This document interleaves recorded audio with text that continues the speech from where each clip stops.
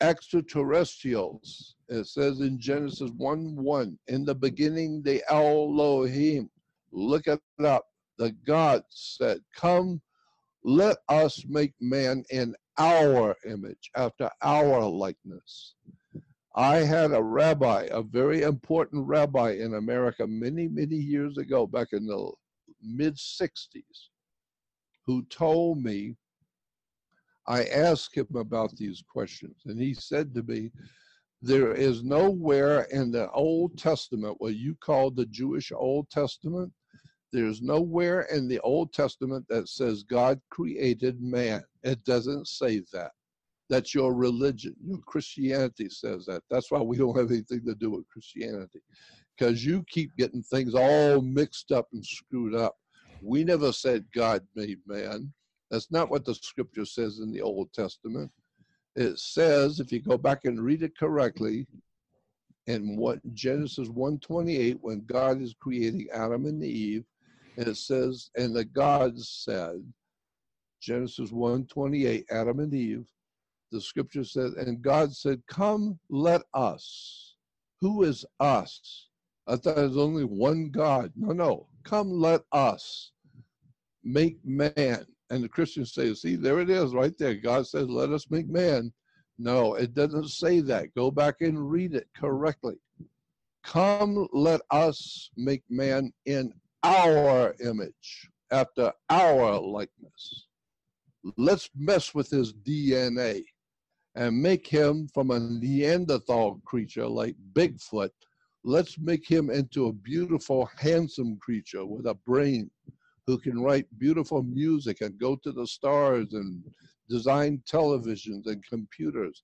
Let's make man look like us. Let us make man in our image, after our likeness. Us and our means more than one. So the bottom line is, is that we humans today look like the gods who created us. And so when we hear that people have been abducted by UFOs and they tell us, when I was in that UFO, that, that flying saucer thing, whatever it was, that craft was, they look human. Some of them look like little alien creatures, but some of them in charge look like humans. They look like human because you are human and you look like them. They weren't human, but you look like them. Why? Because it says in the scripture, Come, let us make man in our image, after our likeness. So the implication is very obvious. Out there, in the world that's out there in the stars, whoever the, uh, the life forms that are out there, they have come here and they have made the hominid creatures, we call Neanderthal creatures, to look like them. Therefore, that tells you that you look like the gods who are out there.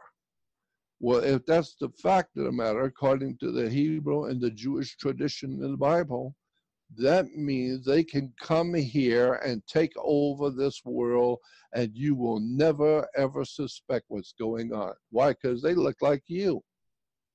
Yeah, they look like you. They got beautiful women. You like beautiful women. so they look like you. Yeah, they're smart. They drink. They, they, they drive around and fly around helicopters. And they look like you. So he's like me. And I like to be with him. I like to be in his company because he's very smart and very powerful. He's not human. He never been human. He's come from another world. You don't know who he is, but he buys and sells children and eats people. You have no idea about the blood rituals and sacrifices and rapes that he's involved in. Why? Because he don't care about you. He created you out of another creature called Neanderthal.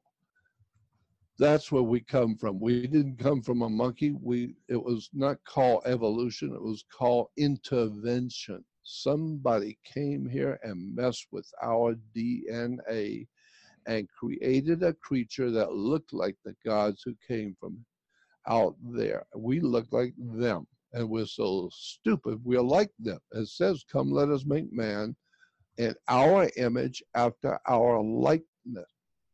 So we're like them. We're as stupid as they are. We're as self centered and bloodthirsty as they are. We like fighting in the streets and martial arts fighting and beating the flying crap out of each other and busting your face in and killing people and raping children. We are like them. You don't know who they are and you don't want to know.